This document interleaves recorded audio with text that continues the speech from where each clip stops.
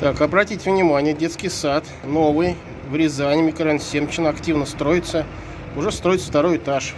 Те, кто ждут здесь достройки детского сада, чтобы детишки ходили в это заведение, родители, папа, мама вокруг домов. Новость хорошая, дом строится активно, каждый месяц что-то, целый этаж, наверное, поднимается. Так что ждем лета, может, к 1 сентября уже детишки наши в этот детский сад пойдут. Так, сейчас вам покажу, что тут вокруг. Так вот. Вот так.